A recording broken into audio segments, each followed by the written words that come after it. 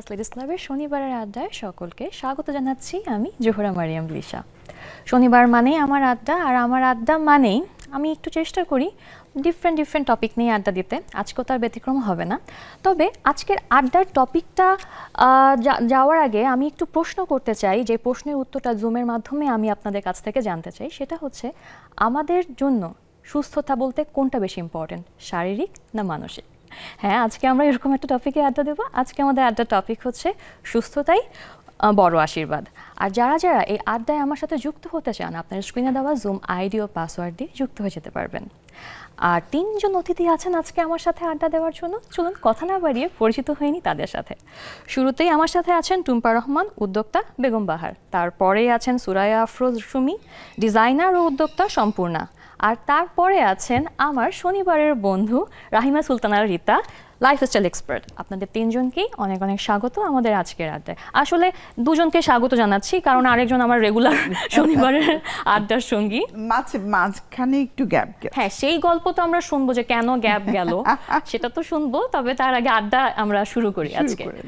তো তিনজনকে স্বাগত জানিয়ে ফেলেছি আমি। এবং আজকের আড্ডার টপিকটা একটু ডিফারেন্ট বলতে পারি আমরা, যে সুস্থতাই বড় আশীর্বাদ। এই সুস্থতা বলতে আমরা আসলে কোন ধরনের সুস্থতা বুঝি? শারীরিক, মানসিক নাকি দুটোই? তো প্রথমে আমি টুম্পা আপুর কাছেই জানতে চাই আপু, আপনার কাছে কি মনে হয়? এই সুস্থতা আসলে কোনটা আপনার কাছে বেশি ইম্পর্টেন্ট ধন্যবাদ। সুস্থতা আসলে শারীরিক মানসিক দুটোই হওয়া উচিত। কারণ আমাদের শরীরের সাথে মনটা অনেক বেশি রিলেটেড যেমন আমি আজকে আমার কথা বলব আমি গতকালকে সারাদিন কাজের জন্য একদম রাত পর্যন্ত খুব দৌড়াদৌড়ি করেছি।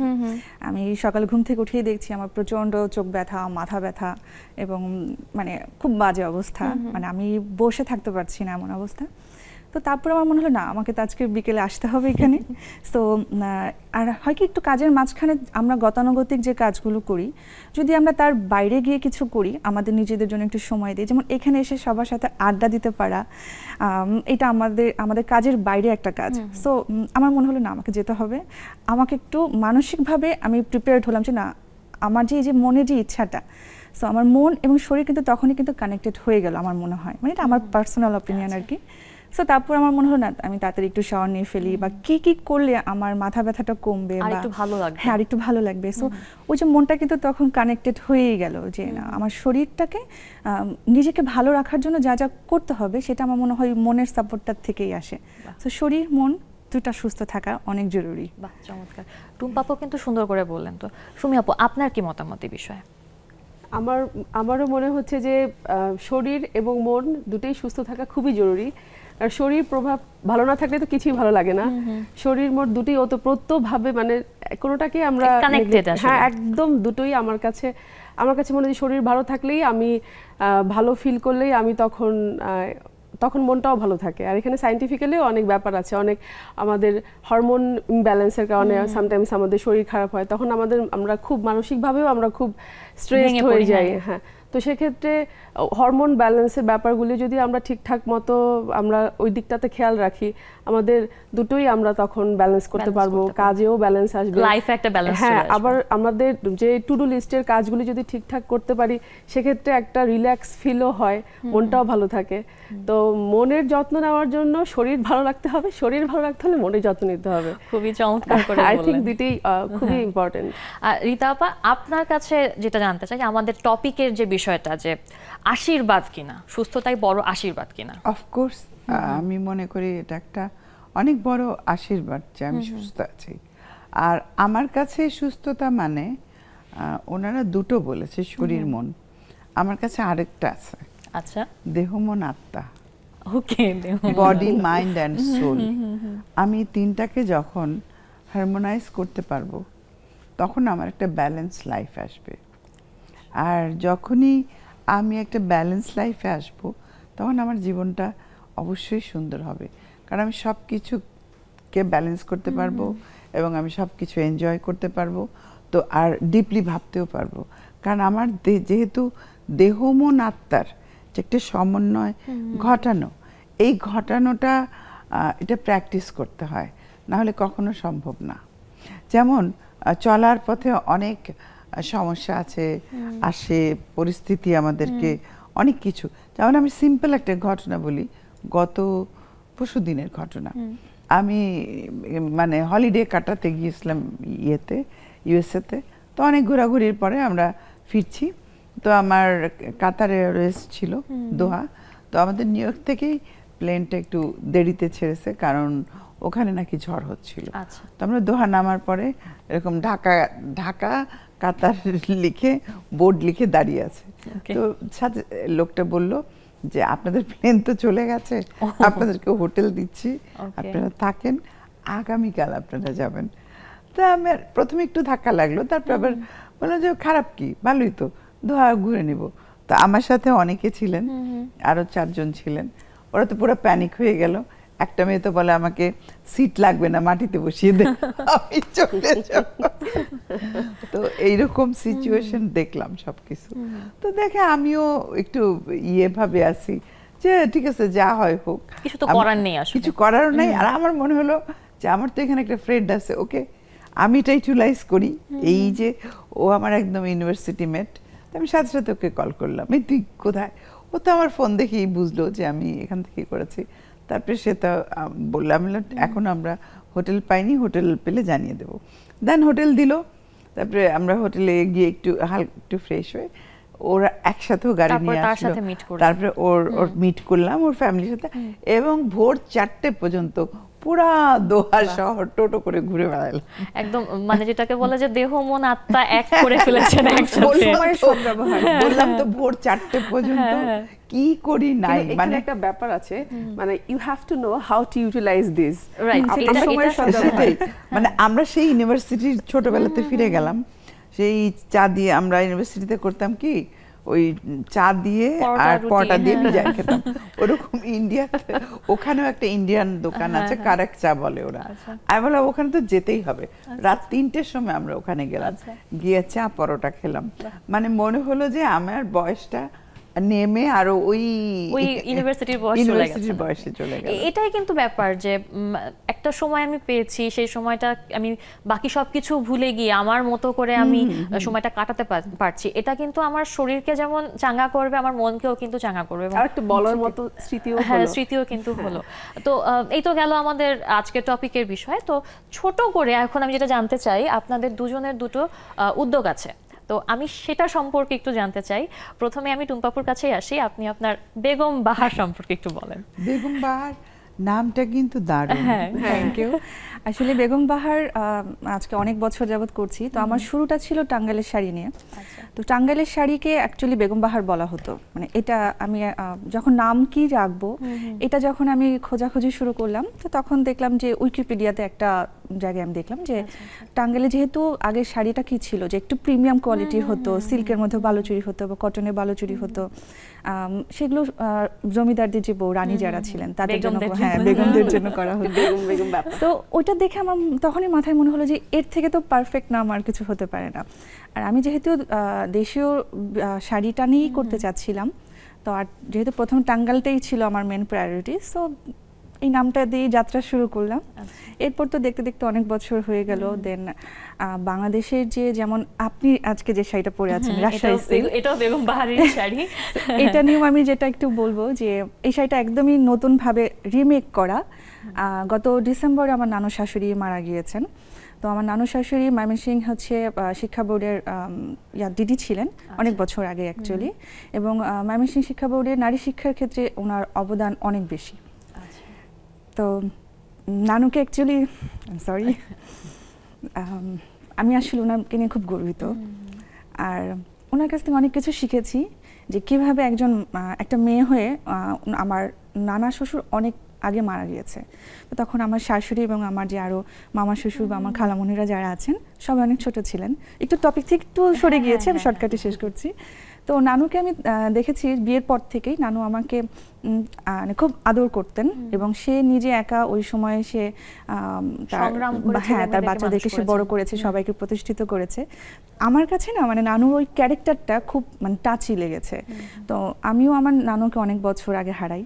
সো বিয়ের পর নানুকে এরকম একজন সংগ্রামী মহিলা যে তার সব বাচ্চাদেরকে বড় করে স্ট্যাবল করেছে এবং সে শুধু সেটাই না সে- উনি এমন আমি হিস্ট্রি শুনেছি যে ওই সময় সম্ভবত জাতীয় পার্টির আমলে ছিল। উনি যে স্কুলে হেডমিস্ট্রেস হিসেবে জয়েন করেছিল ওটা বেসরকারি ছিল। আচ্ছা। তো উনি ওনার ছাত্রীদেরকে নিয়ে রাস্তা আটকিয়ে উনি বলেছে আমার স্কুলকে সরকারি করে যেতে হবে। মানে এরকম কিছু সাহসী পদক্ষেপ সে নিয়েছে। সো এটা আসলে বলে বললে এটা অনেক বড় হয়ে যাবে। সো শর্টকাটে শেষ করি। উনি গত ডিসেম্বর যখন মারা যায় তো আমার কাছে মনে হলো যে নানুর একটা শাড়ি যেহেতু আমি কাজ করছি সো এটা একটা শাড়ি আমি একটু রিমেক করে রাখি। সো এই শাড়িটা অ্যাকচুয়ালি নানুর শাড়ির আমি জাস্ট রিমেক করেছি। হ্যাঁ, এবং এই শাড়িটার মোটিভটা দেখেও মনে হচ্ছে যে ওই আগের যুগে আগের নানুদের শাড়ি। হ্যাঁ, হ্যাঁ। আঙুর আঙুর লতা। আঙ্গুর লতা। খুব চমৎকার একটা শাড়ি। এবং আপনি এরকম মানে এখন যেটা আমি যতটুকু জানি বেগম বাহারে এখন তাঁতের শাড়ি আছে তাঁতের শাড়ি মণিপুরি শাড়ি আছে জামদানি আছে এবং আপনার কিছু নিজস্ব কিছু ক্রিয়েশন আছে। হ্যাঁ, হ্যাঁ। তার মধ্যে এটা একটা। হ্যাঁ রাজশাহী সিল্কে যেমন হয় কি যে আমার কাছে আমি দেখলাম যে আমরা একটা রেপ্লিকা কিনছি পাঁচ হাজার টাকা দিয়ে। কিন্তু আমরা একটা তিন হাজার টাকা দিয়ে রাজশাহী সিল্ক কিনতে এখনও অনেকেই আছে কিনতে চাই না। বা জানি না যে রাজশাহী সিল্কটা এখন কিন্তু আরও মডার্ন ওয়েতে পরা যায়। সো আমি রাজশাহীর এই সেক্টরটাই নিয়ে শুধু সিল্ক না সিল্ক ওদের ওরা হচ্ছে র সিল্ক বলে মসলিনটাকে যেটা আমরা হ্যাঁ হ্যাঁ। তারপরে তসর আছে, আরেকটা আছে। আমি কিন্তু খুব পছন্দ করি রাজশাহী সিল্ক থ্যাংক ইউ তো আমার খুব ভালো লাগে যখন মানে আপনারা যখন মানে এত গুণী মানুষ যখন আমাদের মানে পুরোনো দিনের জিনিসগুলোকে প্রমোট করেন হ্যাঁ তখন খুব ভালো লাগে। সো আর হচ্ছে এছাড়া আমার আমার আরেকটা যে বিষয়টা যে আমরা দেখা যায় যে একটা পার্টিতে যাব আমরা বলি দেশীয় শাড়িতে জামদানি ছাড়া পার্টিতে যাওয়ার কিছু নাই। এটা একদম হ্যাঁ। ভুল কথা আসলে। তো এই সেন্স থেকে আমার মনে হয় না আমার এটাও কিন্তু পড়ে আছে যে রাজশাহীরই। এটা- সফরা সিল্ক আচ্ছা আচ্ছা হ্যাঁ। তো ওইটা একটু আর মটকা টাইপের মটকাটা হ্যাঁ, অনেকটা এরকম একটু হয়। মটকা, ওই হ্যাঁ, সফরা হ্যাঁ। সব শাড়ি বিশেষজ্ঞ বসে আছে। আমার খুব পছন্দ হয়েছে। এবং মটকার সুতাটা না আমি এটা অবশ্য মানে রাজশাহীর ওই ওনাদের কাছ থেকেই জানা এটা আমার কথা না। যে মটকার সুতাটা হচ্ছে ধরেন গার্মেন্টসে কাজ করতে গিয়ে যে সুতাগুলো কেটে কেটে যে পড়ে থাকে সেগুলোকে সব অ্যাসেম্বল করে তারপর নতুন করে সুতা তৈরি করা হয়। রিসাইক্লিং Recycling মতো। করা হয়, আচ্ছা তো এই সব থেকে আসলে আপনার আহ, বেগম বাহারের যাত্রাটা আসলে শুরু হয় এবং কত বছর হলো বেগম বাহার? আট বছর বাহ অনেক লম্বা অনেক লম্বা সময়। তো শাড়ির সাথে যেটা আমাদের আনুষঙ্গিক লাগে একটা সুন্দর ব্লাউজ। যেটা মানুষ যেটা বলে যে একটা সুন্দর শাড়ি অসুন্দর হয় যদি ব্লাউজটা সুন্দর না হয়। একদম একদম। হ্যাঁ তো সুমি আপু কাজ করছেন সেটা নিয়ে এবং আপনি একদম কি বলে ডেডিকেটেডলি আপনার পেজ সম্পূর্ণ কাজ করে ব্লাউজ নিয়ে। আমি যতটুকু দেখেছি। হ্যাঁ, হ্যাঁ। তো এটার চিন্তা কোথা থেকে আসলো এবং কতদিন হলো সম্পূর্ণ বয়স? সম্পূর্ণ দুই হাজার বিশ সালের মে মাস থেকে শুরু। আচ্ছা। তো অলমোস্ট ফোর ইয়ার্স একটা সাদা ব্লাউজ ছিল উফ। হ্যাঁ একদম কোভিডের সময় ওই ব্লাউজ বেশি ভাইরাল famous হয়েছে। যেটা। হ্যাঁ। মানে ওই ব্লাউজটাই প্রথমে করার চিন্তা করলাম। তো প্রথমত আমি আমার মানে বিজনেস আর আমি দুটো দুই মেরুর দুটো দুই মেরুই বলা যায়। হ্যাঁ আমার পড়াশোনা করেছেন ম্যাথ হ্যাঁ ম্যাথমেটিক্স ম্যাথসে তো আমি খুব মানে সেটা আর- আমার হচ্ছে আমি খুব কর্পোরেট জব করব। তারপরে আমার অন্যরকম একটা ইচ্ছে ছিল মানে ব্যবসা যে আমি করব বা ব্যবসায়িক লাইনে যে আমি আসব মানে এটা আমি কখনো মানে স্বপ্নগত দেখে ওটাও আমি কখনো দেখিনি। একটু ইন্টারাপ্ট করি সেম জিনিস আমারও তো যেটা হয়েছে যে তারপরে তো কত কিছু মানে কত স্বপ্নই এরকমই। তো আমার ছোটবেলা থেকে আমি আমার ফ্যাশন ডিজাইনিং এর জন্য খুব অ্যাপ্রিসিয়েটেড হতাম। ফ্রেন্ড সার্কেলে ইভেন আবার আমার কাছে না ছোট ছোট ব্যাপারগুলি খুব আমাকে টানে। আমি যেমন আমার কাছে মনে হয় একটা মানুষ এত দশ পনেরো বিশ হাজার টাকা রেঞ্জে শাড়ি পরছে আর ব্লাউজটার ব্যাপারে এত অমনোযোগী। বা ছোট্ট একটা কানের দুলটার উপরে এত অমনোযোগী। মানে আমাকে এই ছোট ছোট ব্যাপারগুলি আমাকেও খুব বিরক্ত মানে আমি ডিস্টার্বড হই আর কি। হ্যাঁ, হ্যাঁ। তো আমি ছোটবেলা থেকে ব্লাউজ ট্লাউজ যখন পরতাম তখন আমি আমার মা এগুলি আমাদেরকে করে দিতেন। আচ্ছা। তো মাকে বলতাম এভাবে করে দাও আম্মু করে দিতেন। স্কুলে গান টান গাইতাম। সেই আগের রাতে বলতাম যে আম্মু ব্লাউজ করে দাও। আম্মু সেই আগের রাতে বসে বসে ব্লাউজ করে দিত। সেই থেকেই কি মনে সুপ্ত বাসনা ছিল? হ্যাঁ একটা ছিল। তো যখন কোভিড শুরু হলো তখন মনে হচ্ছিল কিছু করি। তখন মনে হচ্ছে যে আমার থার্ড যে বোন শান্তা ইসলাম ইউনো ও আমাকে খুব পুশ করতো আপু তুমি কিছু শুরু করো শুরু করো। তো আমি বললাম না যে আমি আর ব্যবসা দুটো দুই লাইনের জিনিস। তো মনে হলো যে ঠিক আছে করি। তখন আমার একটা ব্লাউজ ওই ব্লাউজটা আমি কয়দিন পরে পহেলা বৈশাখ ছিল। আচ্ছা আচ্ছা। তো ওই বৈশাখের ব্যাপারটা মাথায় রেখেই আমি ভাবলাম যে বানাই। তো আমি বানিয়ে আর নিজের জন্য বানালাম না মানে কেউ একজন পড়ল আর কি। তো সেই ব্লাউজটাই তো সম্পূর্ণকে একটা মানে একটা অন্য লেভেলে নিয়ে হ্যাঁ গেল। সাদা সেই সাদা মানে ব্লাউজ, হ্যাঁ। রবীন্দ্রনাথের গল্পের নায়িকার ব্লাউজ যেটাকে বলে সেই ব্লাউজ হ্যাঁ। একদম এত সবার কাছে আমার অবশ্য অনেক প্রশংসনীয় ছিল এবং এই গল্পটা আমরা আরও শুনব তবে একটা ছোট্ট বিরতির পর। দর্শক ছোট্ট একটি বিরতি নিচ্ছি কোথাও যাবেন না আমাদের সাথেই থাকুন।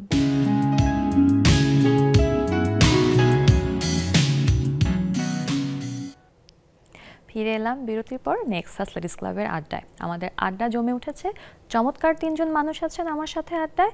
আর যারা জুমে জয়েন করতে চান, আপনার স্ক্রিনে দেওয়া জুম আইডি ও পাসওয়ার্ড দিয়ে জয়েন করে ফেলুন।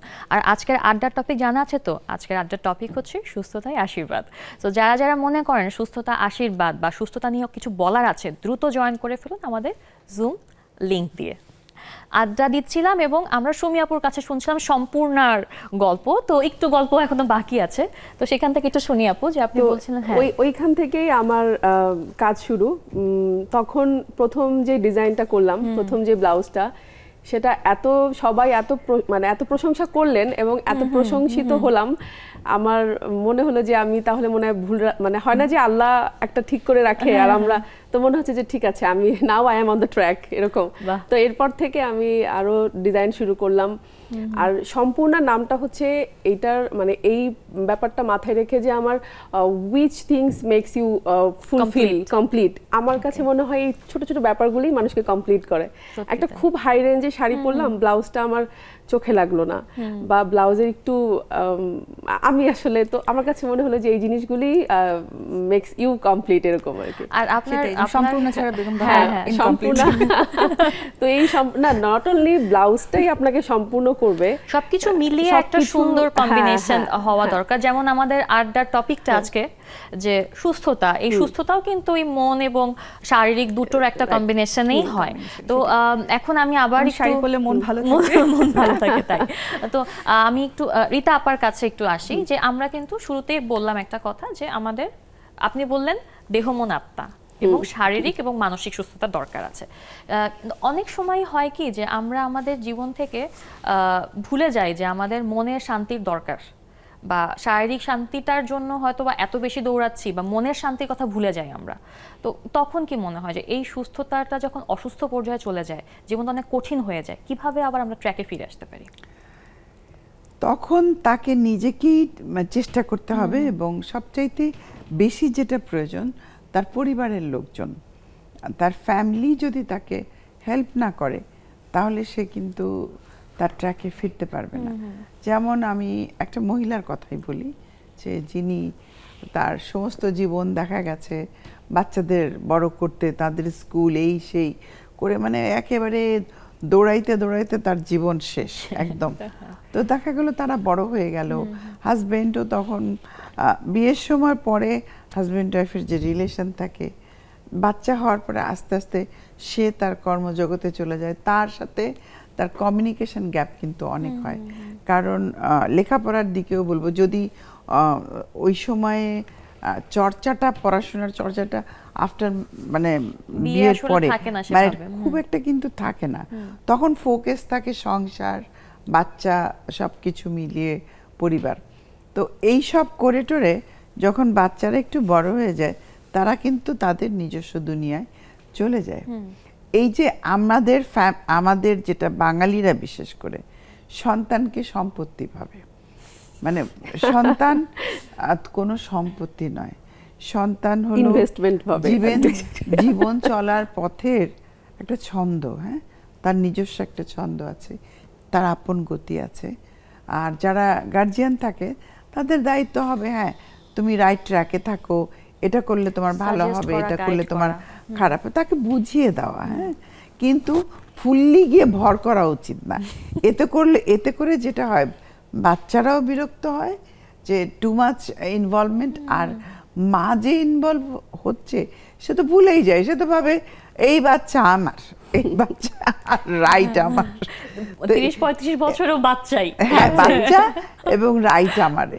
তো এগুলো করতে করতে একটা মহিলা কিন্তু অসুস্থ হয়ে যায় সিক হয়ে যায়। আমি এরকম প্রচুর কেসেস আমি যেহেতু পেশেন্ট দেখি মেন্টাল পেশেন্ট দেখি আমার কাছে এরকম অনেক আসে। তখন আমি বলি আপনি আমার আপনার নিজের দুনিয়া বানান। এতদিন তো সবার জন্য করলেন।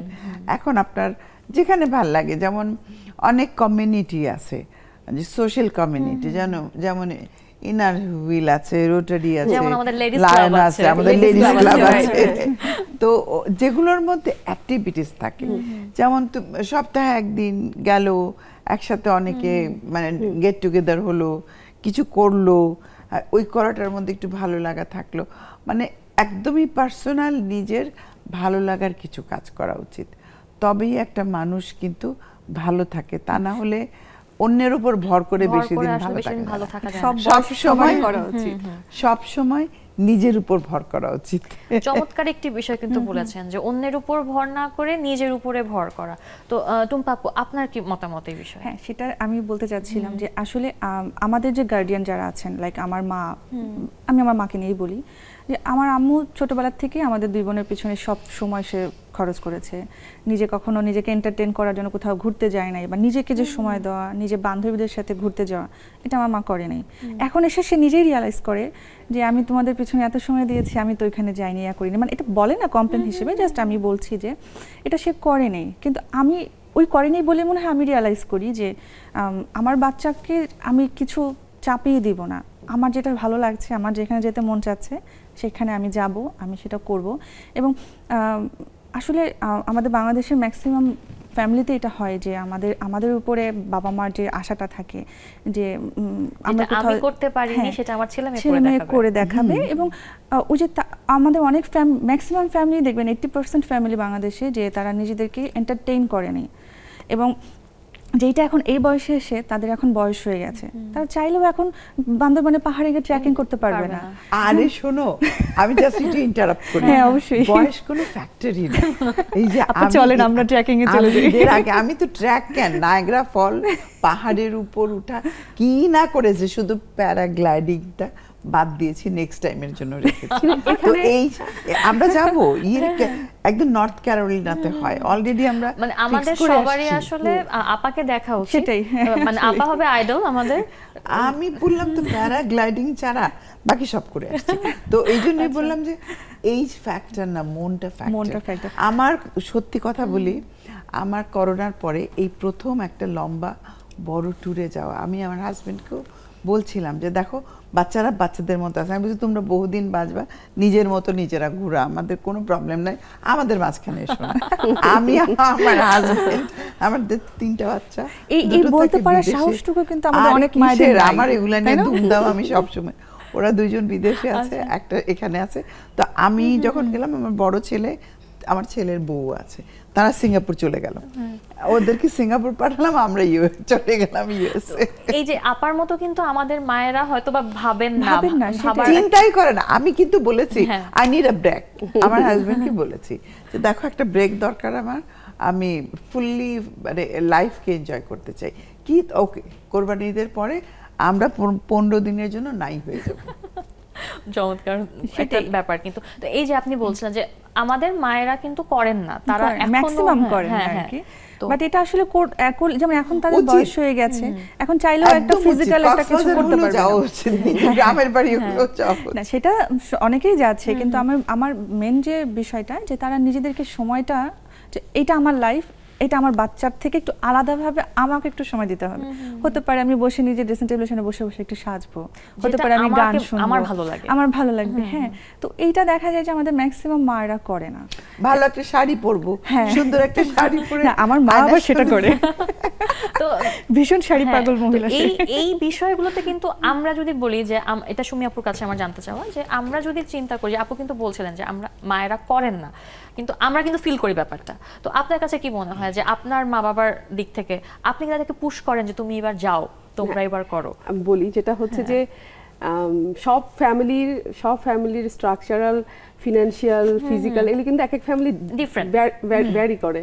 তো একটা মধ্যবিত্ত যার কিনা প্রতি মাসে ভাড়া দিয়ে তাদের লিভিং কস্ট এবং বাচ্চাদের পড়াশোনা করাচ্ছে তো ওই একটা কিন্তু ফেজ যায় যে বাচ্চা বড় করা তারপরে ওদেরকে আবার বিয়ে দেওয়া বা সব কিছু মিলিয়ে। তো যেটা হয় যে অনেকেই চাইলেও পারে না যে ওইটুকু থেকে নিজেকে একটু ভাবে যে কেন আমি বছর শেষে বেড়াতে যাব? এই টাকা দিয়ে ঠিক আছে আমার মেয়ের জন্য একটা গয়না করে রাখি ওর বিয়ের জন্য লাগবে একটা ফার্নিচার করে। ভালো স্কুলে ভর্তি। এটাও কিন্তু মানে তারা তাদের পুরো লাইফটাই কি করতেছে এই বাচ্চা জন্ম দেওয়া থেকে শুরু করে তো যেটা হয় যে সারাক্ষণ শুধু ওই ব্যাপারটা। কিন্তু আমি আমার মাকে আমার শাশুড়িকে আমি ইকুয়ালি বলি যে নিজের জন্য বাঁচেন। আমার শাশুড়িও কি খুব সংসারী খুবই সংসারের প্রতি তার মানে খুবই গোছানো মানুষ খুবই পরিপাটি মানুষ। সারাক্ষণই সংসারের মানে ওনার ধ্যান জ্ঞান সব সংসার। আচ্ছা। তো আমি আমার মা এবং শাশুড়ি দুজনকেই বলি যে তোমরা এখন তোমাদের বাচ্চারা বড় হয়ে গেছে এখন তোমরা তোমাদের মতো একটু বেড়াতে যাও একটু কফি খেতে যাও। এবং আমি আমার মাকে নিয়েও বের হই কফি খেতে বের হই আমার শাশুড়ি তাকে নিয়েও কফি খেতে বের হই। একটু আমার কাছে মনে হয় যে এখন তাদের একটু নিজেদের মতো করে নিজেদের আর যেটা হয় তারা না চাইলেও আমাদেরকে পুশ করা উচিত যে চলো বের হও বা যাও এরকম। অনেকে আবার উম, যেটা হয় যে আশেপাশের মানুষের থেকে আবার ভালো অ্যাপ্রিসিয়েশন পায় না। যে এই- বয়সে এই বয়সে এসে কিন্তু আমিও কিন্তু এটা মানে একদমই আমি এটার অপোজিট যে বয়স আপা যেটা বললেন যে বয়স তো কোনো ফ্যাক্টরি না। এখন একজন মানুষ তার সারা জীবন শেষে সে ব্রেক পেলেন ষাটের পরে আফটার সিক্সটি সে ব্রেক পেলেন।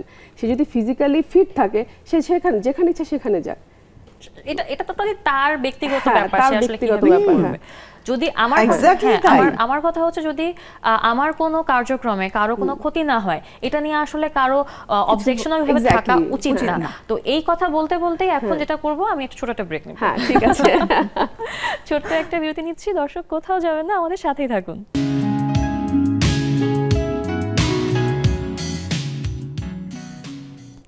বিরতির পর আরও একবার স্বাগত জানাচ্ছি নেক্সাস লেডিস ক্লাবের আড্ডায়। আড্ডা কিন্তু জমে উঠেছে। যারা জয়েন করেননি কিন্তু করতে চাচ্ছেন, দ্রুত আপনার স্ক্রিনে দেওয়া জুম আইডি ও পাসওয়ার্ড দিয়ে যুক্ত হয়ে যাবেন। আর যুক্ত হওয়ার জন্য ছোট্ট একটা শর্ত পূরণ করতে হবে, সেটা হচ্ছে আপনাকে হতে হবে নারী। তো যারা দ্রুত, যারা এখন জয়েন করেনি দ্রুত জয়েন করে ফেলুন। আমরা আড্ডা দিচ্ছিলাম আমাদের সুস্থ থাকা নিয়ে, আশীর্বাদ স্বরূপ বলছি আমরা সুস্থ থাকা এবং সেটা মনের সুস্থতা, দেহের সুস্থতা, শারীরিকভাবে সুস্থতা, সব ধরনের সুস্থতাই হতে হবে। প্রত্যেকেই আপনারা তিনজন কাজ করছেন। তো অনেক সময় দেখা যায় যে এই যে দেহ মনের সুস্থতা যখন ছন্দপতন ঘটে তখন কিন্তু আমাদের কাজের ক্ষেত্রেও ছন্দপতন ঘটে। তো। এমন কি হয়েছে যে এর কারণে আপনাদের দৈনন্দিন জীবন বা কাজে হচ্ছে ব্যাঘাত ঘটেছে বা এই কাজের মাধ্যমেই আবার আপনারা ছন্দে ফিরে এসেছেন? কাকে বলব? আচ্ছা, বলি। যেমন আমার হয় কি যে কাজ করতে একই একই কাজ সকালে ঘুম থেকে উঠে সবকিছু একই রকম কাজই কিন্তু করছি। বাসাও সামলাচ্ছি এবং ব্যবসাটাও সামলাতে হচ্ছে। কবে কোন প্রোডাক্ট আসতেছে কোনটা নতুন করে মানে সবকিছু গুছাতে গেলে এইটা কিন্তু প্রতিদিনের দেখা যায় যে হয়তো টপিক চেঞ্জ হচ্ছে হয়তো আজকে আজকে সারাদিন জামদানি নিয়ে কাজ করলাম কালকে হয়তো মণিপুরি নিয়ে কাজ করলাম। টপিকটা চেঞ্জ হচ্ছে কিন্তু এই একই রকম চলতেই থাকে চলতেই থাকে। তো একটা সময় হয় কি দেখে সপ্তাহের প্রথম দিন যেভাবে কাজ করছি এটা কিন্তু অফিস তো যারা রেগুলার করছে। অফিস ডেস্ক করছে একই হচ্ছে যে সপ্তাহ শেষে গিয়ে মনে হচ্ছে যে Energy শেষ হয়ে এনার্জি। শেষ হয়ে যাচ্ছে হ্যাঁ। এটা যে কোনো পেশাতেই হয় এটা মানে পেশা যে টপিক যেটাই হোক যে কোনো পেশাতেই এরকম যে হয় কোনো কাজের ক্ষেত্রে। যে কোনো কাজের ক্ষেত্রে এরকম হয়। তো আমার যেরকম হয় যে লাইক আজকে সকাল থেকেই যেদিন আমার দিন খারাপ যাবে বা যেদিন আমার কাজের স্লো হবে সেদিন সকাল থেকেই কিছু না কিছু একটা জায়গায় হবে। হয়তো ওইখানে কোনো ক্লায়েন্টের কোনো ইস্যু বা ওই প্রোডাক্টটা মোর মতো হচ্ছে না। তখন দেখা যায় সারাদিনই ওইটার থেকে আর বের হতে পারি না। আচ্ছা। তখন কিন্তু শারীরিক এনার্জি থাকলে ওই যে মনটা যে নষ্ট হয়ে যায় ওটাকে পরে ব্যালেন্স করতে গিয়ে দেখা যায় যে কিছু বাড়তি কিছু করছে। হয়তো একটা মুভি দেখতে বসছি অথবা মনে হলো আচ্ছা ঠিক আছে তাহলে একটু কারোর সাথে একটু গল্প করি। মানে চেষ্টা করি যে কাজের থেকে বাইরে গিয়ে তাহলে একটু মনটাকে একটু মানে রিফ্রেশমেন্ট যেটাকে বলে কোনো ফ্রেন্ডের সাথে ফোনে কথা বলে অ্যাটলিস্ট যেটাকে বলে যেমন বন্ধুদের সাথে কথা বলতে গেলে তো কত ধরনের কথাই হয়। লাইক আপনি হয়তো আরেকজনকে নিয়ে বদনাম শুরু করছেন হ্যাঁ বান্ধবীদের সাথে। এটাও কিন্তু এক ধরনের এন্টারটেনমেন্ট না? এবং এবং এখানে এখানে একটা কথা আমি বলতে চাই সেটা হচ্ছে মানুষ মনে করে এটা শুধু মেয়েদের স্বভাব এটা মেয়েদের স্বভাব না এটা মানুষ মাত্রই করে এটা আসলে উচিত না। একদম। ছেলেরা যে নিজেদের মধ্যে যে কি কি টপিকে কাজ করে আমার বরকে মাঝে মাঝে দেখি যখন ঘণ্টার পর ঘণ্টা ফোনে কথা বলতেছে উফ, তাদের ভাই ব্রাদারদের সাথে। আমি পাশে থেকে বসে বসে মজা নিই এবং মাঝে মাঝে বলি আচ্ছা তার মানে এখানেও হয়। এটা কিন্তু করা উচিত আমার মতে।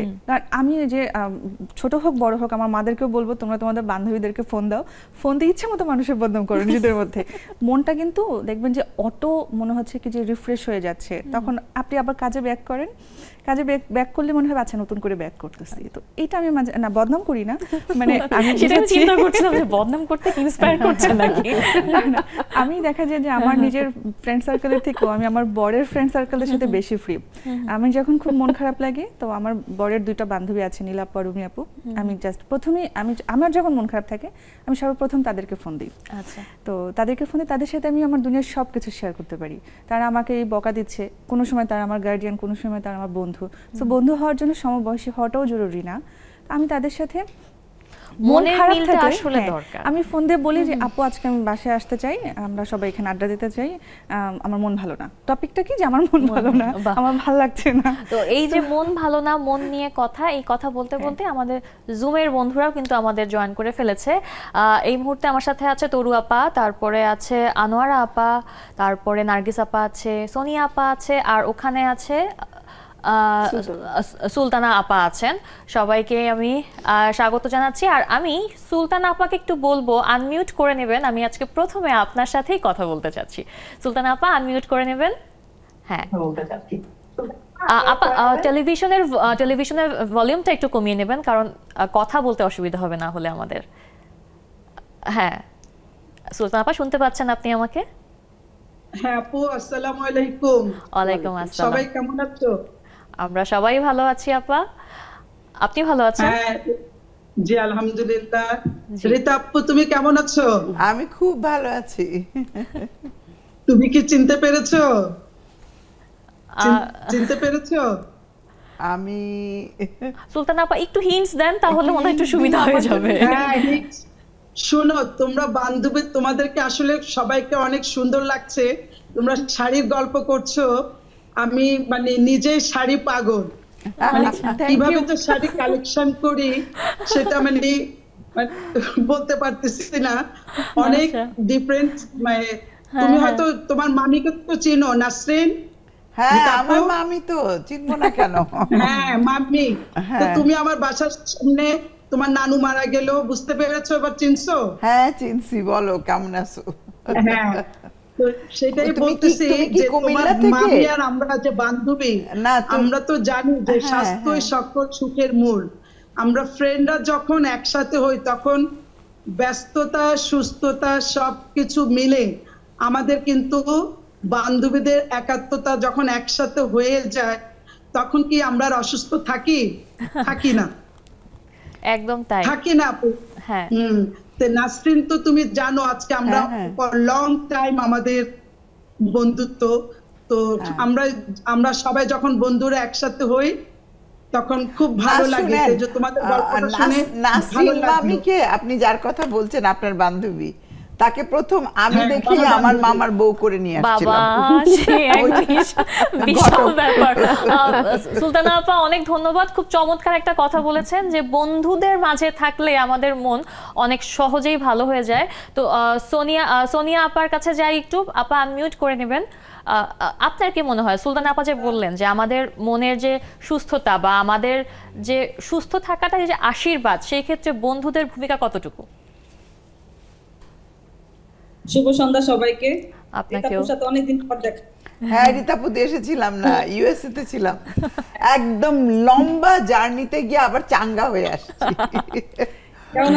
একটা ব্রেক নিতে গেছিলাম। ভালো আজকের টপিকের সাথে রিলেটেড হ্যাঁ, এটা নিয়ে আমি আপনাকে জিজ্ঞেস করব। হ্যাঁ সোনিয়া আপা একটু বলেন একটু ঝটপট একটু বলে ফেলেন তো বন্ধুদের ভূমিকা কতটুকু মনে হয় আপনার কাছে? বন্ধুদের ভূমিকা অনেকটাই যেমন কালকে আমার মানে আমাদের একটা প্রোগ্রাম ছিল ওইখানে আমরা খুব ব্যস্ত ছিলাম। মানে শরীরটাও খারাপ লাগছিল কিন্তু বন্ধুরা যখন হাসি মুখে কথা বলছে বন্ধুরা যখন জড়ায় ধরছে বন্ধুরা যখন ছবি তুলছিল তখন না সুস্থ হয়ে গেছি কেমনে কেমনে জানি। অ্যাকচুয়ালি বন্ধু মানে বন্ধুরা যখন হাতে হাত রাখে মনের কথা মনের কথা মন খুলে বলা যায় তখন অনেকটাই সুস্থ হয়ে যায়। আর সুস্থতা আল্লাহর একটা অশেষ রহমত। আমার কাছে মনে হয় যে যখন আপনি অসুস্থ থাকবেন তখন যদি অসুস্থার অসুস্থতার মধ্যেও যদি আপনি একটু ঘুরতে যান একটু ওই যে খোলা আকাশের নিচে বাতাসটা আপনার শরীরে বয় তখন মনে হয় মানুষ এমনি সুস্থ হয়ে যায়। আমি আমার আমার কাছে এটা মনে হয়। আর বন্ধুত্ব তো অন্যরকম একটা জিনিস। সেটা আসলে যারা বন্ধুত্বের সাথে মিশে তারাই অ্যাকচুয়ালি বুঝে যে বন্ধুত্ব আল্লাহর একটা ওইটাও এক আল্লাহর একটা অশেষ রহমত মানুষের জীবনে চলে আসে মানুষকে আল্লাহ দান ঠিক বলেছেন। অনেক অনেক ধন্যবাদ আপা অনেক ধন্যবাদ। এবার একটু আমি আনোয়ারা আপুর কাছে যাই। আপু আনমিউট করে নেবেন। এই যে আপু বললেন যে বন্ধুত্ব এবং সে সাথে আপনি বললেন যে ঘুরতে যাওয়া। ঘুরতে যাওয়ার সাথে অনেক সময় দেখা যায় যে মন ভালো হয়ে যায় বা শারীরিক অসুস্থতাও দূর হয়ে যায়। আপনার ক্ষেত্রেও কি এমন ঘটে যে ঘুরতে গেলে মন চাঙ্গা শরীর চাঙ্গা হয়ে যাচ্ছে? শুভ সন্ধ্যা সবাইকে। অনেকদিন পরে দেখলাম আসলে। খুব ভালো লাগছে। পরিবারে আসলে। হ্যাঁ শুনলাম আপা সেটা। সেরা পরিবারে আপনার সাথে আমার বেশ কিছুটা সময় কাটানোর আচ্ছা, আচ্ছা, সৌভাগ্য আচ্ছা। হয়েছিল। হ্যাঁ হ্যাঁ আমি ওখানে জাজ ছিলাম। জাস্ট ছিলেন ফার্স্ট এপিসোডে আমি রান্না একদম লাস্ট পর্যন্ত গিয়েছিলাম আপা। আচ্ছা আচ্ছা ভেরি গুড তো তারপরে আপনাকে ওখানে আমি দেখেছি। আমরা তো একটা হ্যাঁ, করে আর চলে আমি, হ্যাঁ, হ্যাঁ। চলে এসেছি বাট আপনি তো প্রত্যেকটা টিমের জন্যই আপনি ছিলেন। মানে আপনি যে কতটা এনার্জেটিক সেটা আসলে ওই দিন দেখছি যে সকাল থেকে একেবারে রাত আমরা মনে হয় এই যে আপা এই যে আপনি আপনার রেগুলার কাজের বাইরে একটা ডিফারেন্ট কিছু করলেন ডিফারেন্ট জায়গায় গেলেন রীতা আপার সাথে দেখা হলো তখন আপনার কি মনে হয়েছে? মন সুস্থতা যদি বলি আমরা মন সুস্থ হয়ে গিয়েছিল? বা চাঙ্গা লাগছিল কি? আমি বলি আমার হাজবেন্ডের সাথে আমার তখন একটু মনোমালিন্য ছিল। আচ্ছা। বাসায় কথা বলছিলাম না দুজনে। যাই হোক গিয়েছিলাম দুজন একসাথে।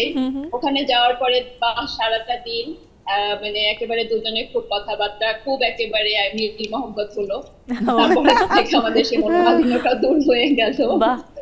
তো খুব ভালো লেগেছে আসলে। আর সোনিয়া আপা যেটা বললেন যে গতকালকে একটা আড্ডা ছিল আমাদের আমিও সেখানে ছিলাম। সত্যি।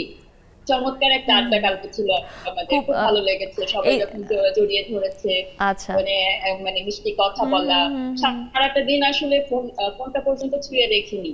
বা এই যে এই ব্যাপারটাই কিন্তু অনেক আহ, মানে লক্ষণীয় যে একসাথে বন্ধুরা ছিল বাইরে গিয়েছি এবং ফোনটা ধরে দেখিনি। এটাও কিন্তু এক ধরনের মানে দৈনন্দিন জীবন থেকে ডিফারেন্ট কিছু করা এবং মনকে সুস্থ রাখা শারীরিকভাবে সুস্থ থাকার একটা অংশের মতোই। আর আমার সাথে আড্ডা এই মুহূর্তে আরও যুক্ত হয়েছে নাহিদা আপা এবং নাজিয়া আপা। আপনারা সবাই আমার সাথে ও হাসিনা আপাও যুক্ত হয়েছেন। আহ, আপনাদেরকে অনেক অনেক স্বাগত। তবে আড্ডা দিব আমি একটা ছোট বিরতির পর। দর্শক ছোট্ট একটা বিরতি নিচ্ছি। কোথাও যাবেন না আমাদের সাথেই থাকুন।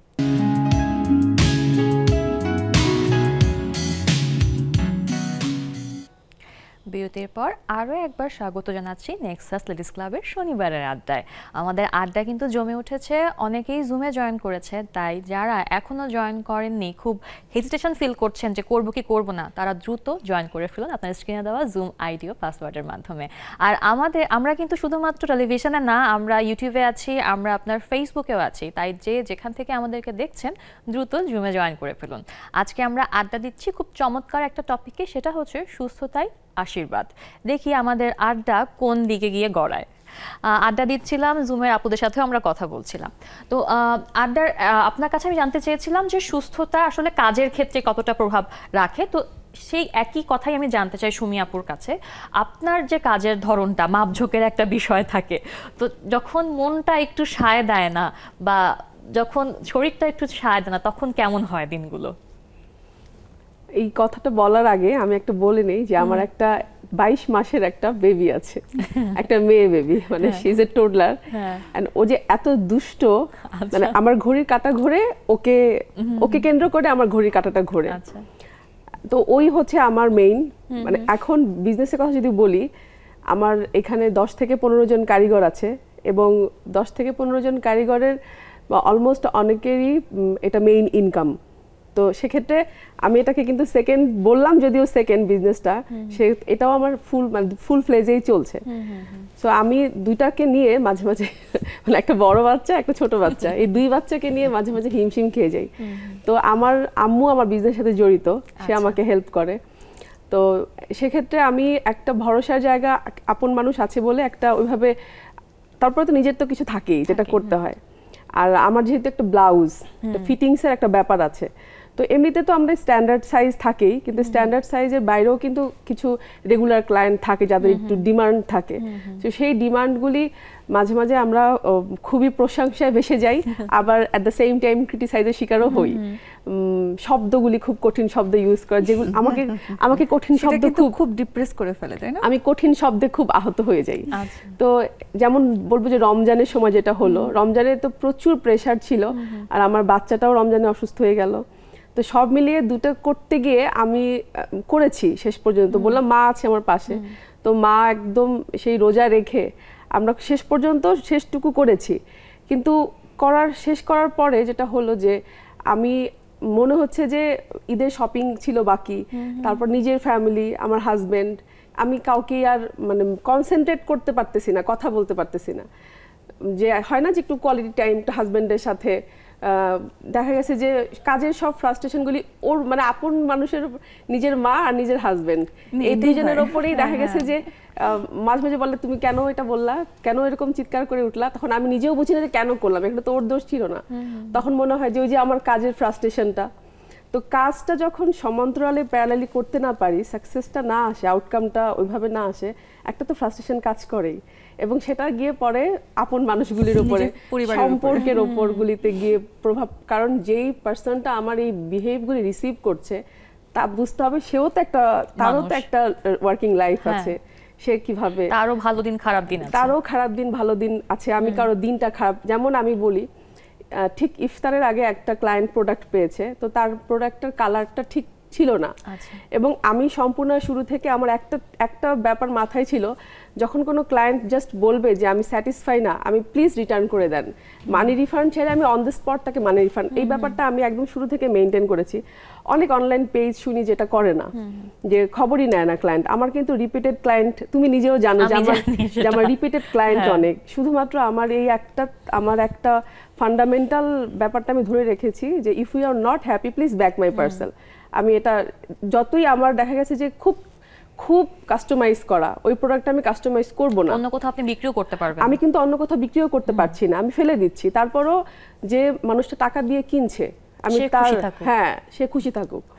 তো উম, এই যে কাজগুলিকে ব্যালেন্স করা তো যেটা বলতেছিলাম যে ইফতারি করব ঠিক এমন মুহূর্তে একজন ক্লায়েন্ট বলল আপা কালারটা ঠিক মতো হয় নাই। ঠিক আছে আপা আপনি ব্যাক করে দেন এখন তো ঈদের সময় আমি আর পাচ্ছি না ঈদের পরে আপনাকে করে দিব। বলে সমস্যা নেই আপু আপনি ঈদের পরে দিয়েন আপনি তো আপনার রেগুলার ক্লায়েন্ট আমার এখানে কোনো কমপ্লেন নেই। কিন্তু আমার মা- আমার না খুব কষ্ট লাগতেছে আমি ঈদের দিন পড়তে পারব না আমার মানে তখন না আমি জাস্ট মনে হলো যে খেজুরটা যে গিলবো মানে এই যে যে ব্যাপারগুলি না ইমোশনাল খুব একটা ইম্প্যাক্ট পড়ে মেন্টালি একটা সেটা আপনি বলছিলেন যে সেটার ইম্প্যাক্টটা যে পরে হচ্ছে ফ্যামিলির উপর। Family তো- এই প্রসঙ্গে আমি রীতা আপার কাছে জানতে চাই যেহেতু আপনি লাইফস্টাইল এক্সপার্ট তো আমাদের এই ফ্রাস্ট্রেশনের জায়গাগুলো যখন আমরা ফ্যামিলির উপরে ফেলি আম- আপনার কি মনে হয় যে তাদের কি বোঝা উচিত বা তাদের আসলে কি ভূমিকা থাকা উচিত এই ক্ষেত্রে? প্রথমে নিজের মাইন্ডসেট ঠিক করা উচিত আহ, পরিবার এবং কর্মক্ষেত্র। দুটোকে একদম সেপারেট করে ফেলতে হবে। একটাকে যদি আরেকটার মধ্যে এনে ফেলা যায় দুটোই ম্যাসাকার হয়ে যায়। তো এই জন্য আমি যেটা করেছি আমার লাইফে আমার অনেক রকম ঝা- ঝামেলার মধ্যে দিয়ে কাজ করতে হয়েছে বিভিন্ন রকম। কিন্তু আমি কখনোই ওইখানকার কোনো প্রবলেম আমার পরিবারের কারোর উপরে আমি ফেলিনি। এটা আমার ব্যক্তিগত ব্যাপার। কারণ এতে করে হয় কি পরিবারের তাদেরকেও ডিস্টার্ব করা হয় নিজে ডিস্টার্ব থাকি আর কাজের যে সমস্যা ওটা আমি মিটিয়ে নিব যেভাবেই হ্যাঁ, পারি। কিন্তু আপা যদি করে ফেলি ধরেন সবাই তো আসলে পারি না। balance, হয় হ্যাঁ। না। তো সেই ক্ষেত্রে আপনার কি মনে পরিবারের ভূমিকা কি সেই ক্ষেত্রে আমার মনে হয় একটা জিনিস যখন ঘটনা ঘটে যায় বন্দুকের গুলির মতো ওটা তো আমি ফিরিয়ে আনতে পারব না তাই না? আমার পিস্তল থেকে গুলি বার হয়ে গেছে, গেছে হ্যাঁ। তা এখন আমাকে যেটা করতে হবে নিজেকে কুল করতে হবে।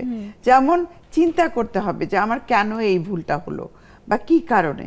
তো ওই যে কজেসগুলো যদি আমি বের করতে পারি যে হ্যাঁ আমার হয়তো ডেলিভারি নেওয়ার সময় আমার কালারটা আমি ঠিক মতো খেয়াল করিনি বা আমার এই এই প্রবলেম ছিল সেলফ অ্যানালাইসিস এখানে এর কোনো বিকল্প নেই।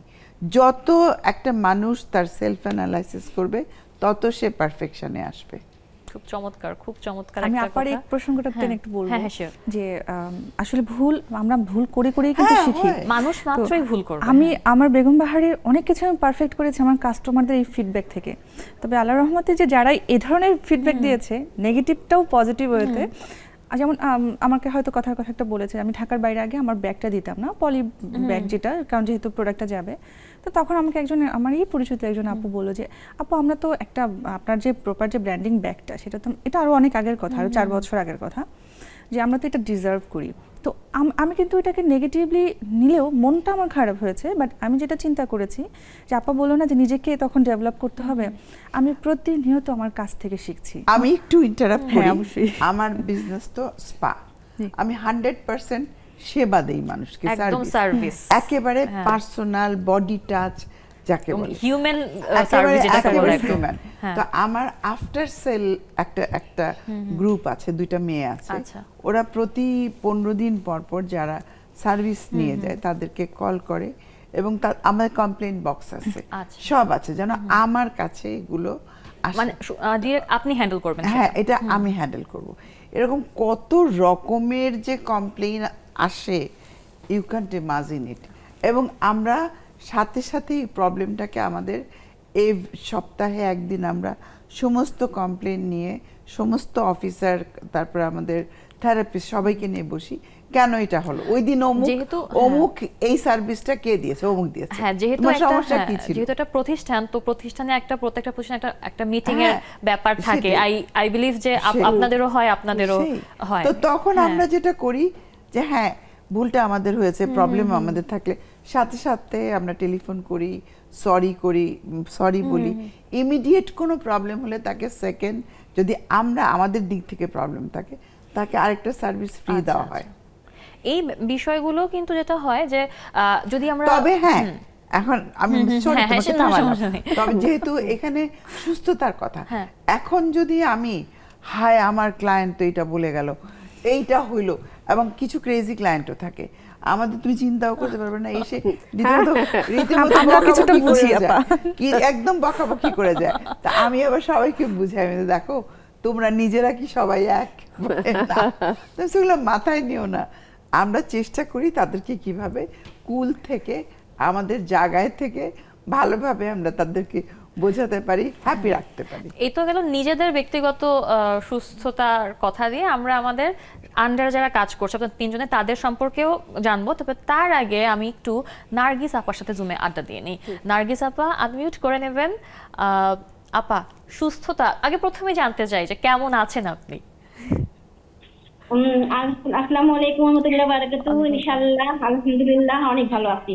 মন মনের সুস্থতা কি আছে এই মুহূর্তে? নাকি কোনো কিছু নিয়ে টেন্স একটু ছিলাম এই মুহূর্তে ছেলের আব্বা বাসায় ঢুকছে ও হাসি হাসি মুখ করে আমার দিক তাকাইছে। আমি ওর দিক তাকাইছি অনেক ভালো লাগছে। সো সুইট খুব কিউট একটা বিষয় হলো খুব ভালো লাগল শুনে। ছোট ছোট বিষয় থেকেও কিন্তু আমাদের সারাদিনের ভালো লাগা ভালো লাগাটা। হ্যাঁ এই ছোট বিষয়গুলোই কিন্তু অনেক বড় একটা ব্যাপার। আহ, তো আপা আপনার আপনার কাছে আমি একটু আরেকবার একটু জানতে চাই যে এই যে আপনি বললেন যে আহ, ভাইয়াকে দেখে আপনার মন ভালো হয়ে গেল। তো যখন ভাইয়ার মন খারাপ থাকে তখন আপনি কি করেন? ওর মন খারাপ না থাকলে তো আমি একটু ঠেস দিয়ে বসি। তারপরে হচ্ছে কথা বলি না আবার বেশি কথা বলি। আমার পটার তাতে মনটা ডিভার্ট হয়ে যায়। বা মাঝে মাঝে একটু বলে যে চুপ চুপ থাকো।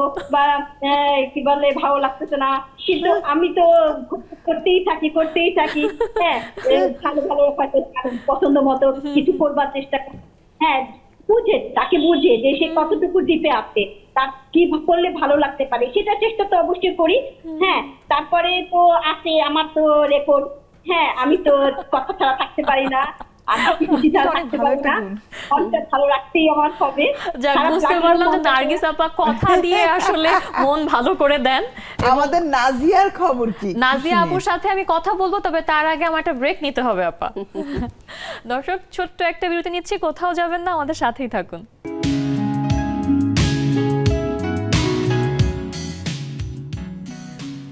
ফিরে এলাম বিরতির পর নেক্সাস লেডিস ক্লাবে আমাদের আড্ডা খুব জম্পেশভাবে জমে উঠেছে তাই যারা এখনও জয়েন করেন জয়েন করেননি আপনার স্ক্রিনে দেওয়া জুম আইডি ও পাসওয়ার্ড দিয়ে জয়েন করে ফেলবেন।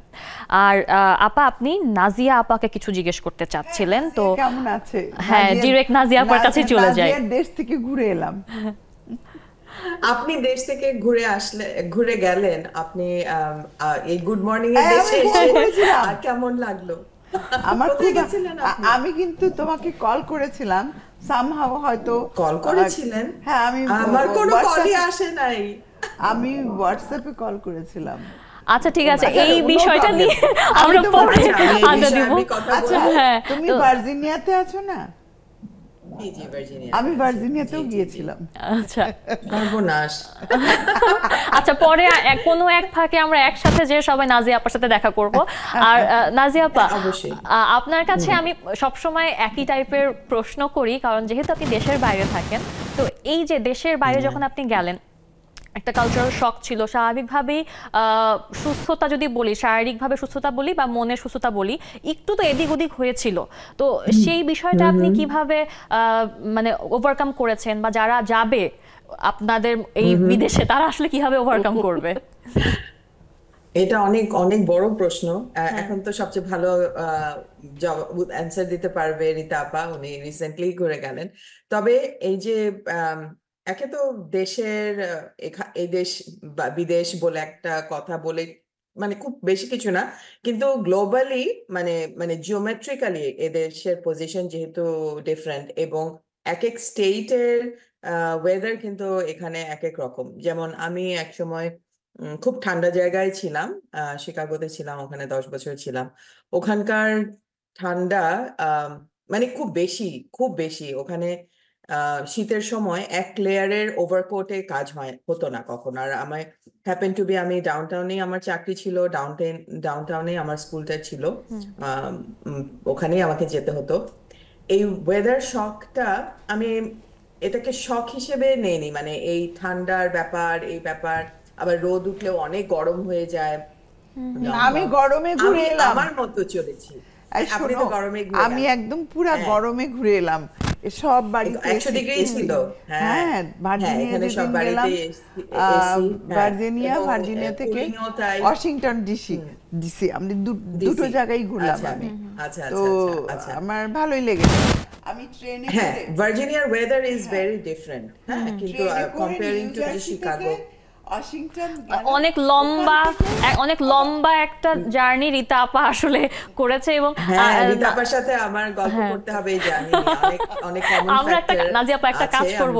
একটা স্পেশাল আড্ডা করব রীতা আপার বিদেশ ভ্রমণ নিয়ে ইউএসএ ভ্রমণ নিয়ে। হ্যাঁ, সত্যি সত্যি। কারণ এটা ওনার চোখে না না ওনাদের জীবন আমি কাছে সত্যি, থেকে দেখে এসেছি। হ্যাঁ। সবচেয়ে হ্যাঁ, বড় হ্যাঁ। জিনিস তারা যে কতখানি কষ্ট করে ওদের লাইফে থাকে সবাই মানে এভরিবডি আনন্দ আছে কিন্তু আবার অনেক কিন্তু রুটিন একটা লাইফ অনেক একটা রুটিন লাইফ অনেক কষ্ট। তোমাকে যদি আমার নাজিয়ার সাথে দেখা করতে হলে এক মাস আগে অ্যাপয়েন্টমেন্ট নিয়ে যেতে হবে।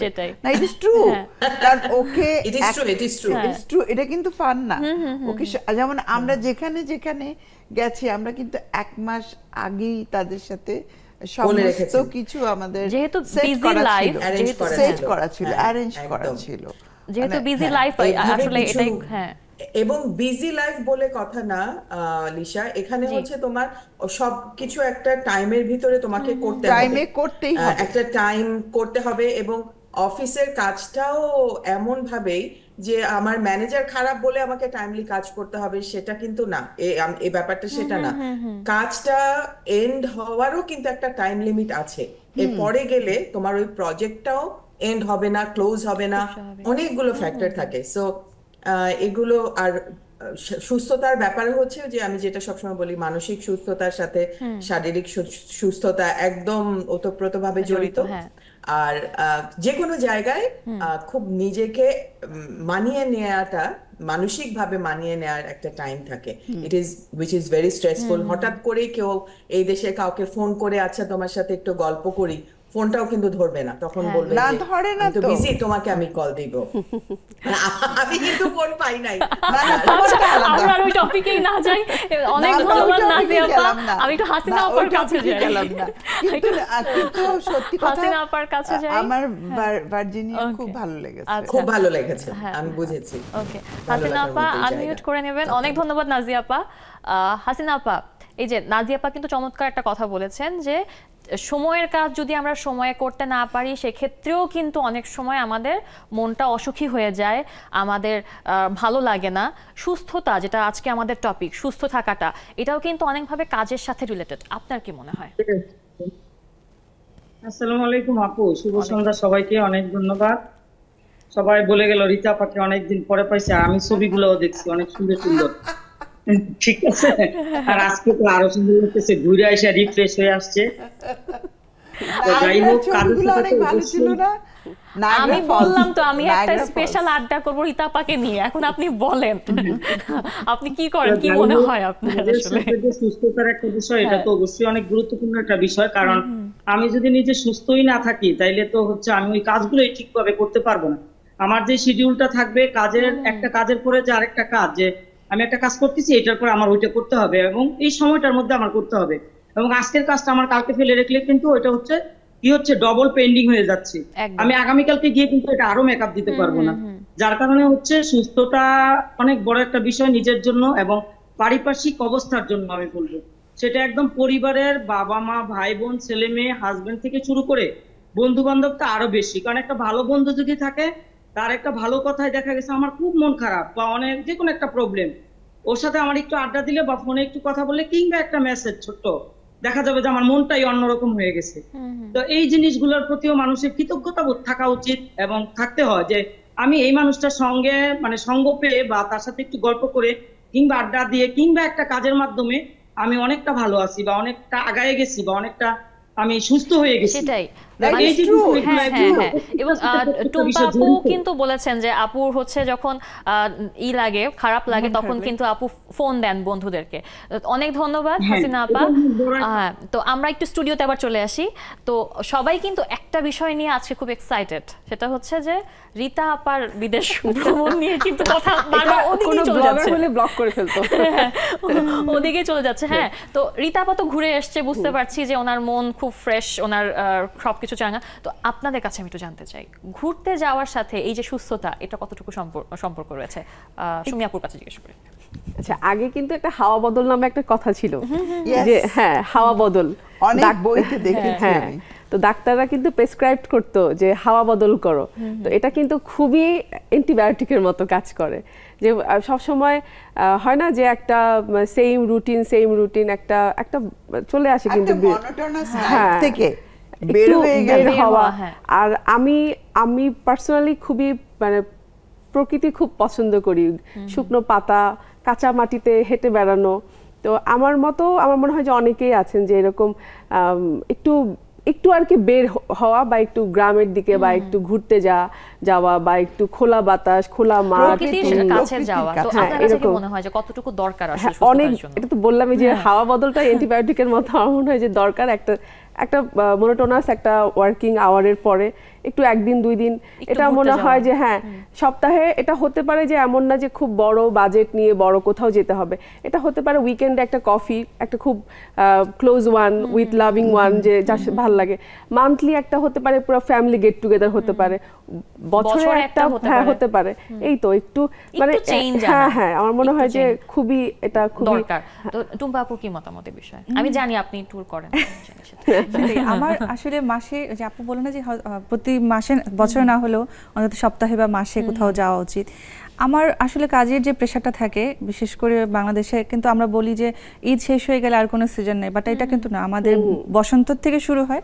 বসন্ত একুশে ফেব্রুয়ারি বৈশাখ দুইটা Eid then Puja wedding season সিজনটা এখন চলছে যে কোনো জায়গায় বৃষ্টি বাংলাদেশের বৃষ্টি সেরা বৃষ্টি আসলে। একদম আসলেই। এখন বর্ষা দেন কয়েকদিন পরে আসবে শরৎ। শরতের আকাশ দেখলেই তো আমি আমার বারান্দায় বসেই আমাকে বাইরে যাওয়ার আগে আমি চিন্তা করি আমাকে তো আমাকে যে ওয়ার্কলোডে থাকতে হয় আমি আমার বাসার ছোট্ট কর্নারটায় আমি আমি যে বাসাটাই থাকি সেখান থেকে খুব সুন্দর আকাশ দেখা যায়।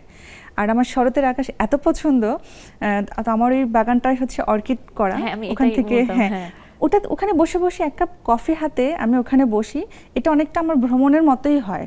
কারণ আমার পক্ষে প্রতি মাসে যাওয়া সম্ভব না কয়েক মাস পরেও যাওয়া সম্ভব না। কারণ ছেলের স্কুল থাকে আমার হাজব্যান্ডের জব সব কিছু মিলে হয়ে ওঠে না। বাট আমি বছরে অন্তত দুই তিনবার যাওয়ার চেষ্টা করি। এবং সেটা আমি খুব বেশি করে চাই। আমি এমন হয়েছে যে আমি মেলা করেছি ঈদের মধ্যে। মেলা শেষ করে আমি আমার বরকে বলছি আমি খুব খুব টায়ার্ড মানসিকভাবে শারীরিক তো আছেই। কারণ যখন আমরা কোনো এক্সিবিশনে যাই আমরা যেহেতু অনলাইনে কাজ করি হ্যাঁ আমাদের অবস্থা খারাপ হয়ে যায় পুরো টিম সহ। আমার টিমের কাছে সব ছেড়ে দিয়ে আমি জাস্ট কোথাও বের হয়ে যাই। এটা আমি বছরে দুই তিনবার করার মাস চেষ্টা করি। এটা বাংলাদেশের যে প্রান্তেই হোক সিলেট হোক আমি ধারের কাছে না যে একটু চেষ্টা করি একটু সমুদ্র বা একটু পাহাড় বা একটু সিলেটের চা বাগান ভালো লাগে আসলে হ্যাঁ, সবকিছু হ্যাঁ। মিলে। আমি একটু ইকো ফ্রেন্ডলি ইকো পছন্দ করি মানে আমি একদম গিয়ে কোথাও অট্টালিকায় বসে থাকব এটা পছন্দ করি না আমি একটু মানে যেই সমস্ত জায়গায় গিয়ে আমি একটু ঘাস দেখতে পারব একটু সবুজ দেখতে পারব বড় কথা হচ্ছে আপনার আপনি হ্যাঁ। প্রকৃতির কাছে থেকে নিজেকে। একটু নিজের মনকে একটু শান্ত করার চেষ্টা করেন। আমাদের বাংলাদেশে খুব সুন্দর একটা জায়গা আছে রাঙামাটি ভীষণ ভালো লাগে। পাহাড়ও আছে না, পানিও আছে কিসের আচ্ছা নিলে মজা হবে। এই- বিষয় নিয়ে আমরা আড্ডা দেব তবে একটা ব্রেক নিয়ে নিই। হ্যাঁ হ্যাঁ। দর্শক ছোট্ট একটা বিরতি নিচ্ছি কোথাও যাবেন না আমাদের সাথেই থাকুন।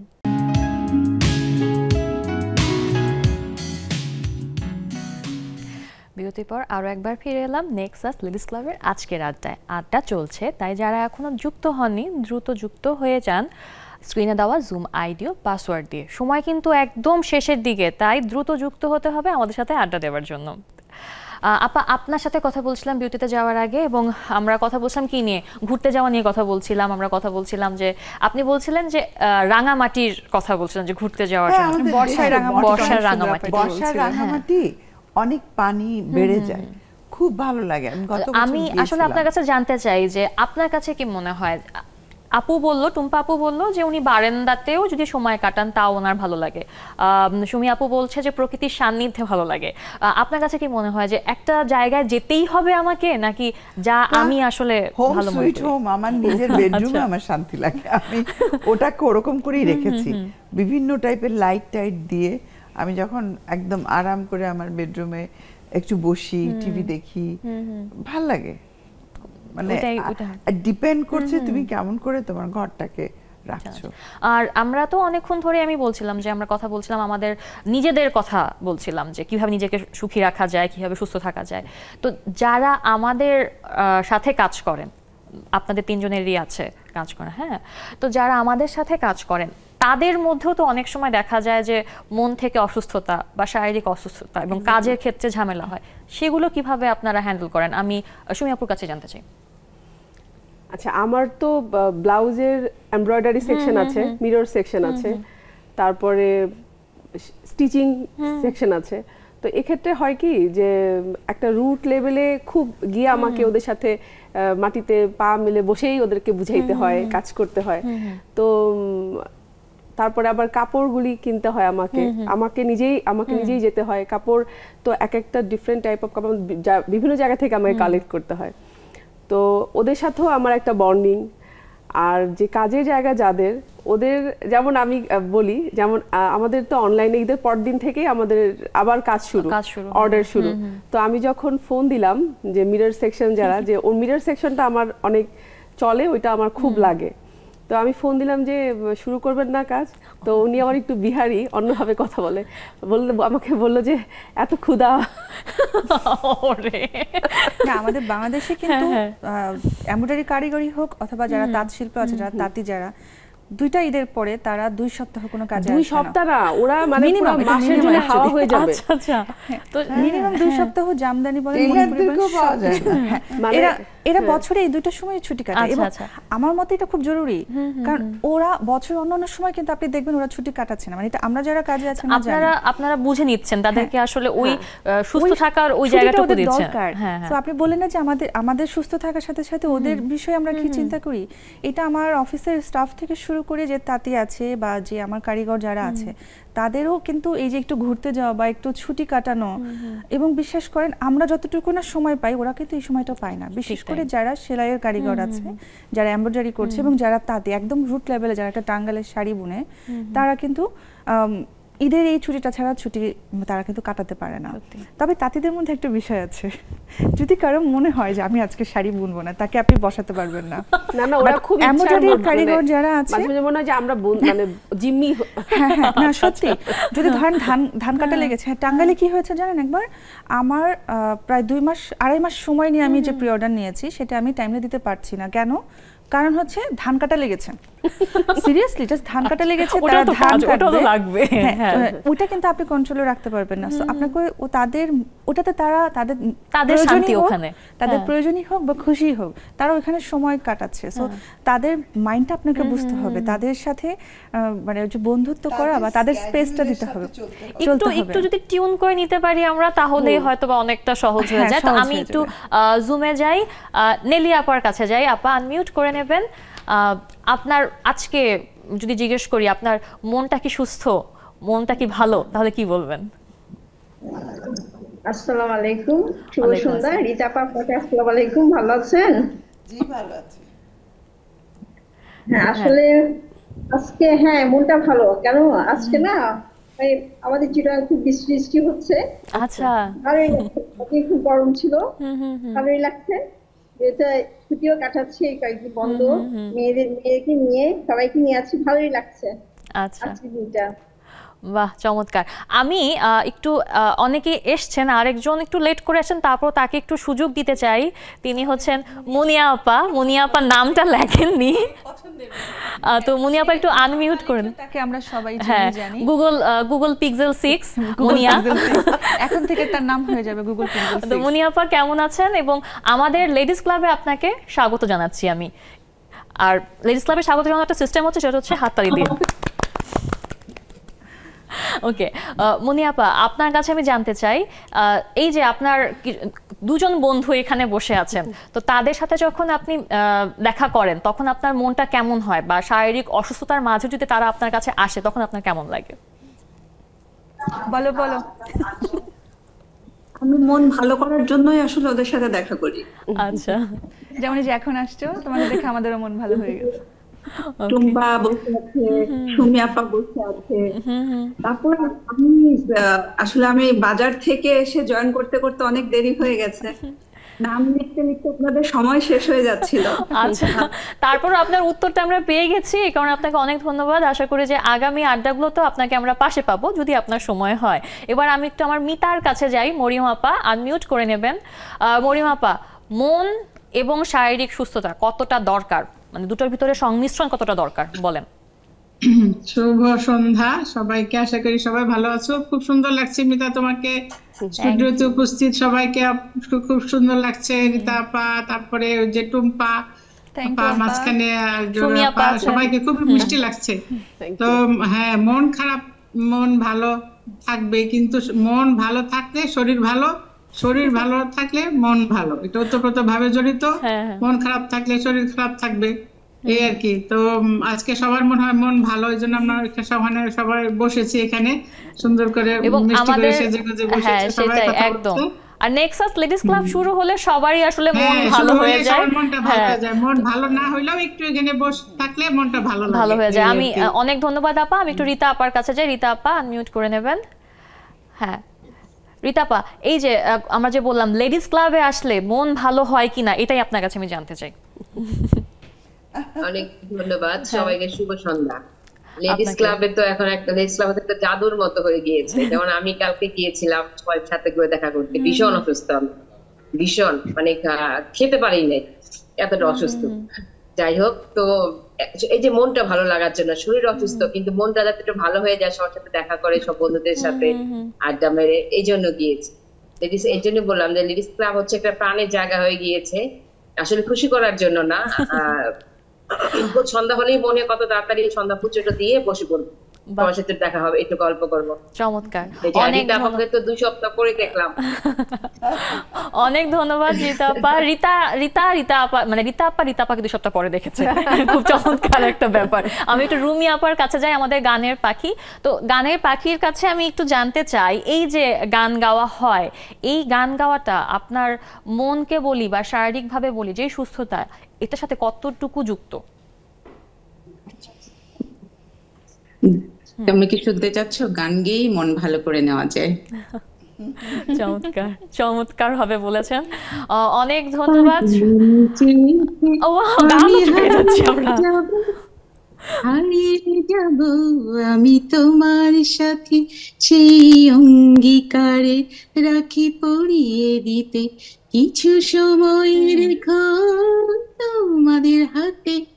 বাহ চমৎকার চমৎকার। হয়ে হ্যাঁ, তাই অনেক ধন্যবাদ সবাইকে। আজকে এত চমৎকার ভাবে আমাকে আড্ডায় সঙ্গ দেওয়ার জন্য আর যাদের সাথে কথা বলতে পারিনি আশা করছি আগামী আড্ডায় আপনাদের সবাইকে আমি পাশে পাবো। আর আজকে আপনারা তিনজন এত চমৎকার একটি আড্ডায় আমাকে সঙ্গ দিয়েছেন আপনাদেরকেও অনেক অনেক ধন্যবাদ। থ্যাংক ইউ তোমাকে। দর্শক এই ছিল আমাদের আজকের আড্ডা। আগামী আড্ডায় আবারও দেখা হবে। ততক্ষণ পর্যন্ত সবাই ভালো থাকবেন সুন্দর থাকবেন নেক্সট টেলিভিশনের সাথেই থাকবেন।